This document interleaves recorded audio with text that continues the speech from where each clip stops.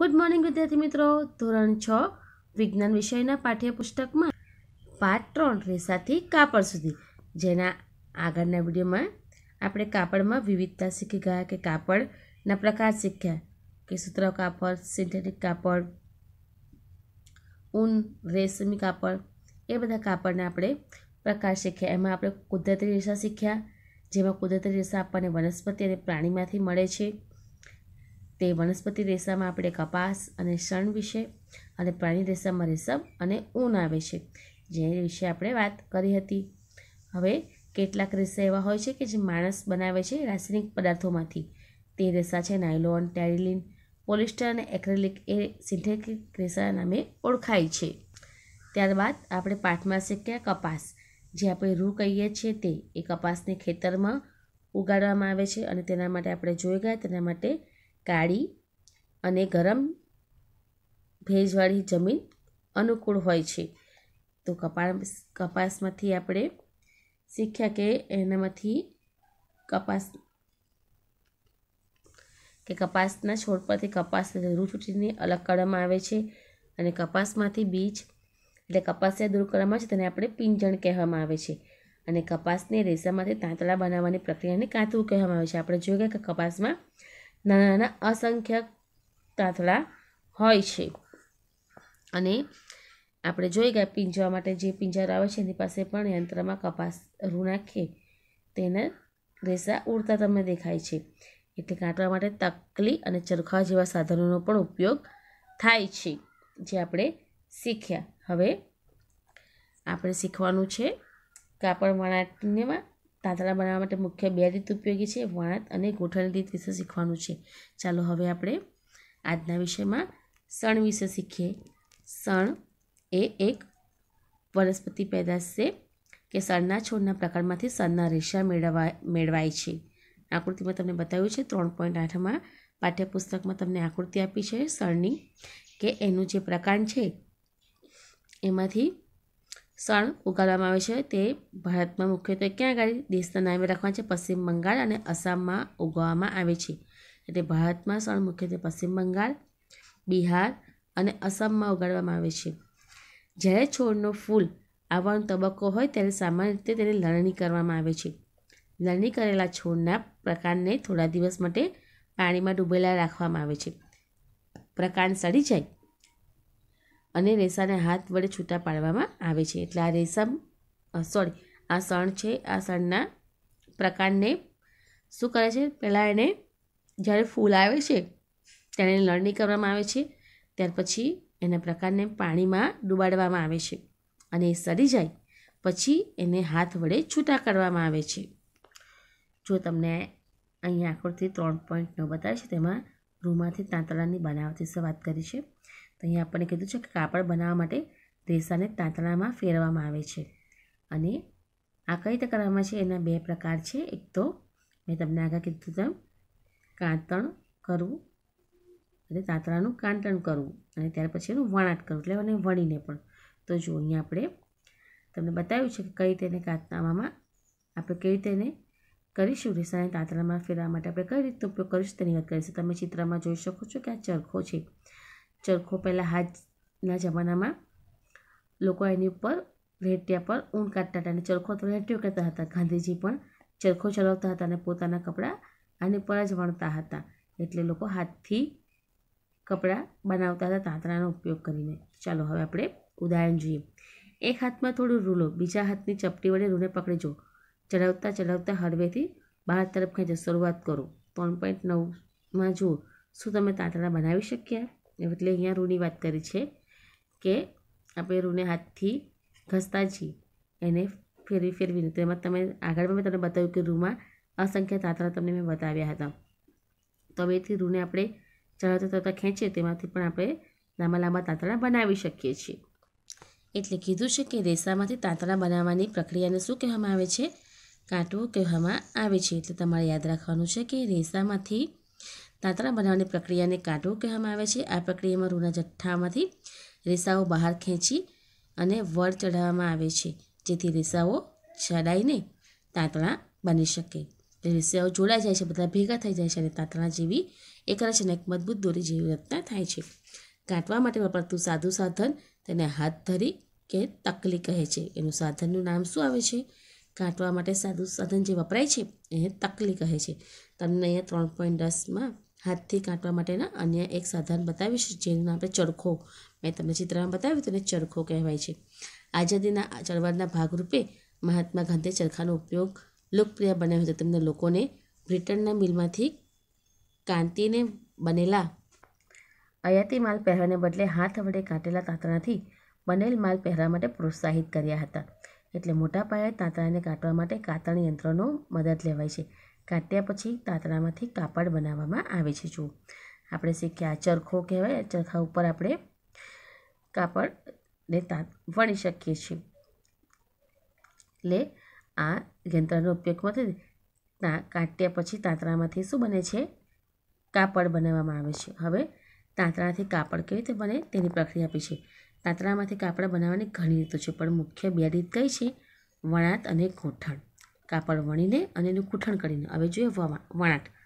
વણાટ એટલે તમને પ્રવૃત્તિ બેમાં કીધું છે કે તાંતણાને બે જૂથની એક સાથે ગોઠવણીથી કાપડ બને છે. જે પદ્ધતિ દ્વારા તાંતણાને બે જૂથ સાથે ગોઠવાઈને કાપડ બનાવે તેને વણાટ કહેવામાં આવે છે. શું કહે છે કે તાંતણાના બે જૂથને એક સાથે ગોઠવવામાં આવે છે અને પછી એ બે જૂથ એક એક જૂથ સાથે ગોઠવાઈ જાય, ત્યારે તાંતણું એ જૂથ ગોઠવાઈને કાપડ બને છે એને વણાટ કહેવાય છે કે આપણે અહીંયા તમને એક પ્રવૃત્તિ આપી છે. તમારે પ્રવૃત્તિમાં જુદા જુદા રંગની કાગળની બે સીટ લો તે બંનેમાંથી ત્રીસ સેમી લંબાઈ અને તેટલી જ પહોળાઈ ધરાવતો ચોરસ કાપો. હવે બંને સીટને બરાબર અડધી ઘડી કરો.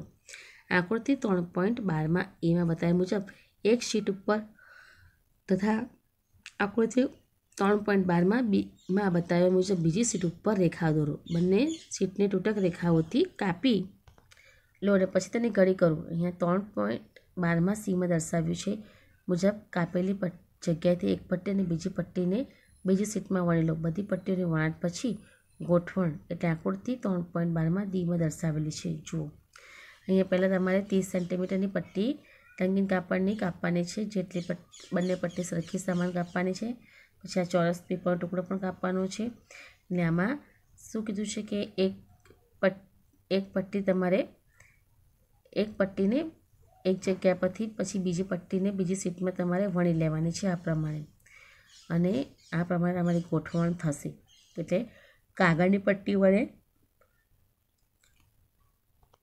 અહીં વણાટનો નમૂનો તમને આ પ્રમાણે તૈયાર થશે. હવે બીજો ઉપયોગ આપ્યો છે હાથ સાત તમે જુઓ, અહીંયા સ્ત્રી બતાવી છે, હાથ સાતના ઉપયોગ મદદથી પણ તાંતણા વણી શકે છે. આવી જ રીતે તાંતણાના બે જૂથ વડે કાપડ બનાવવામાં આવે છે. જોકે ચોક્કસપણે આપણે કાગળની પટ્ટીઓ કરતા તાંતણા ખૂબ જ પાતળા હોય છે.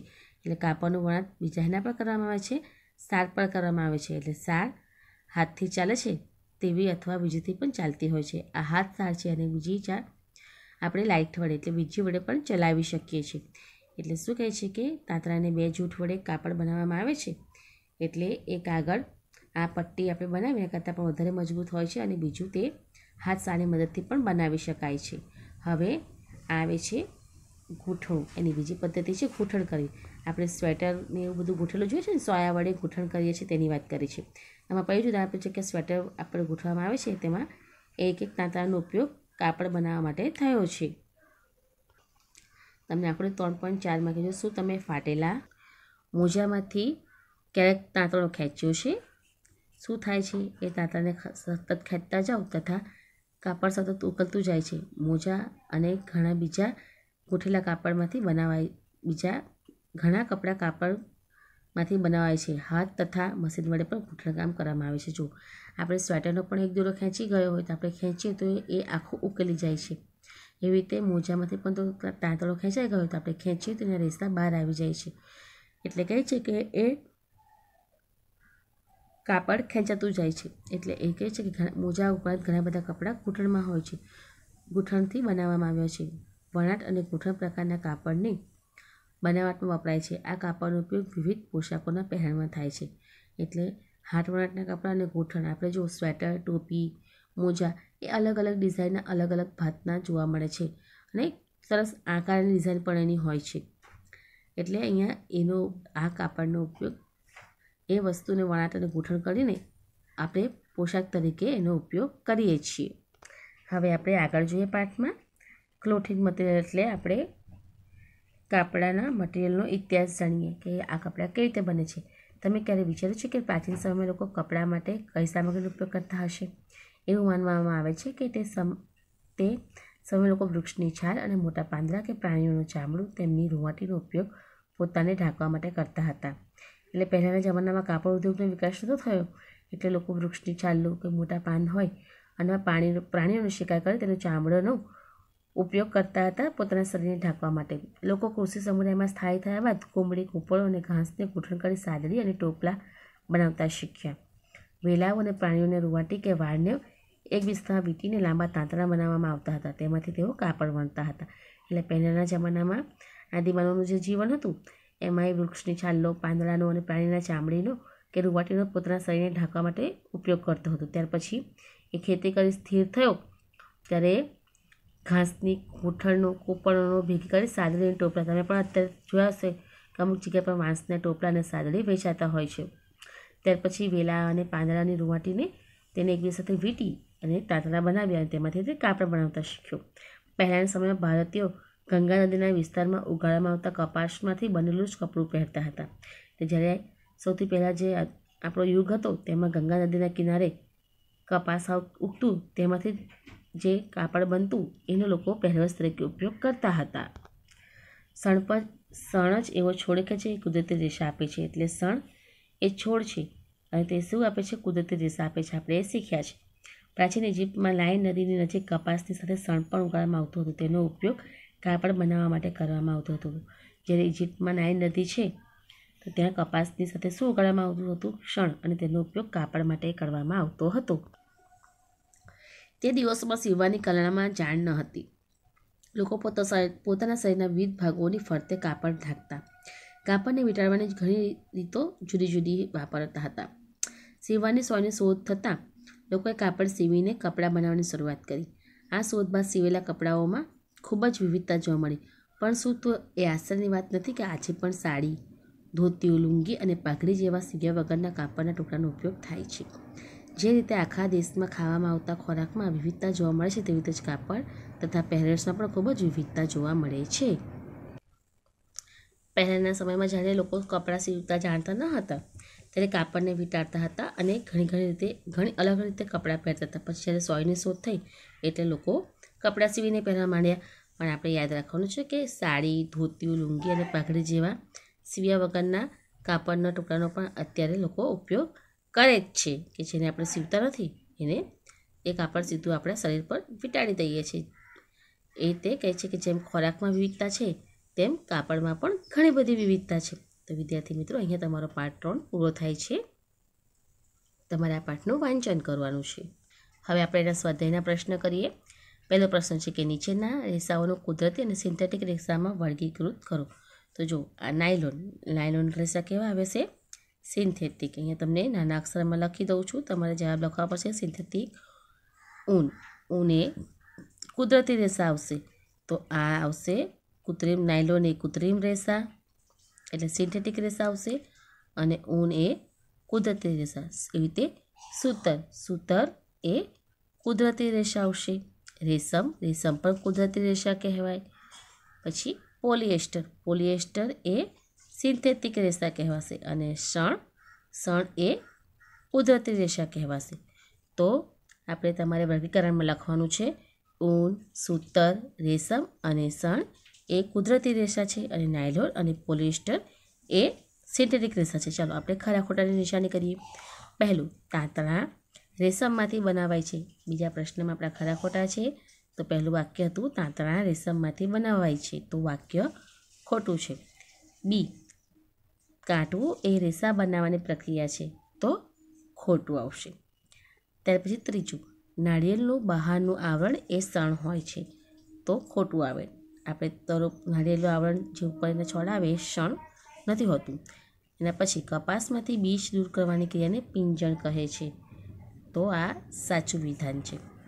એના પછી તાંતરાના વણાથી કાપડ બને છે. તો સાચું.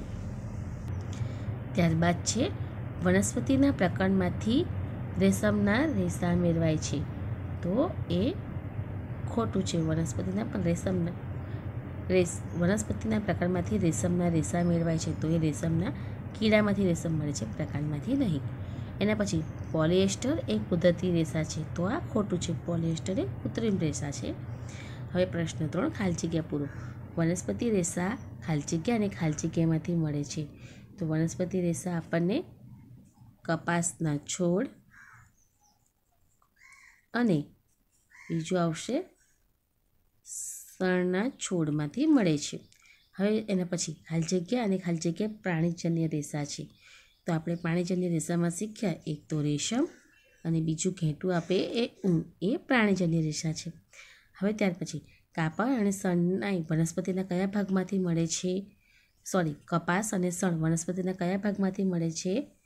તો કપાસના કપાસ જે મળે છે એ કપાસના છોડના ફળમાંથી મળે છે. અને જ્યારે સણ સણ એ શેમાંથી મળે છે? છોડના પ્રકાંડમાંથી.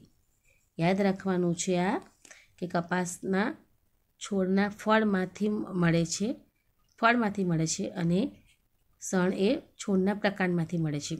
ત્યાર પછી પાંચમો પ્રશ્ન, નાળિયેરના રેસામાંથી બનતી કોઈ બે પ્રવૃત્તિના નામ આપો. નાળિયેરના રેસા જે હોય, એમાંથી આપણે કાથી તમે કાથી જોઈશે ને? કાઠીના દોરદા. ત્યાર પછી બીજું શું બને છે? પગલું છણિયા.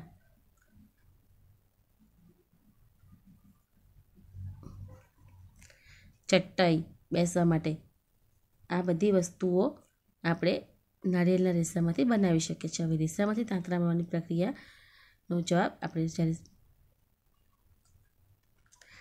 જ્યારે રેસામાંથી તાંતણા બનાવવાની પ્રક્રિયાને કાઢવું કહેવામાં આવે છે, આ એનો પહેલો તબક્કો છે.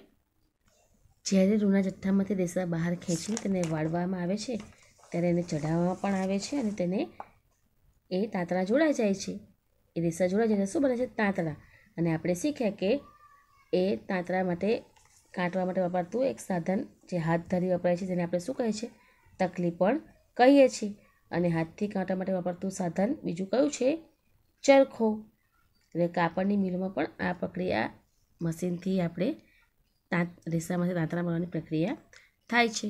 તો અહીંયા તમારા પાર્ટ ત્રણની સમજૂતી પૂરી થઈ. તમારે સ્વાધ્યાયના દરેક પ્રશ્નો તમારી વિજ્ઞાનની નોટબુકમાં લખવાના છે. હવે પછીના વિડીયોમાં આપણે ફરી મળીશું.